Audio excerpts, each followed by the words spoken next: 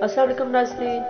जैसा कि आपने वीडियो में देखा कि बख्तार भुट्टो शादी के बाद पहली बार गरे खुदा बख्श आए, बड़े प्रोटोकॉल के साथ, जहाँ पर उनका भरपूर तरीके से इस्तकबाल किया गया। और उन्होंने वो मज़ार दिखाया, जहाँ उनकी वालदा बेनज़ीर भट्टू शहीद और जुल्फ़ार अली भट्टू दफन हैं। जैसा कि आप देख रहे हैं कि शादी के बाद बख्तावर भुट्टो पहली बार खुद ड्राइव करके अपनी वालदा की कब्र पे आई। नाजरी, आपको ये वीडियो कैसी लगी? कमेंट्स करके अपनी राय का इजहार ज़रूर कीजिएगा। नेक्स्ट वीडियो तक के लिए अल्लाह हाफिज़।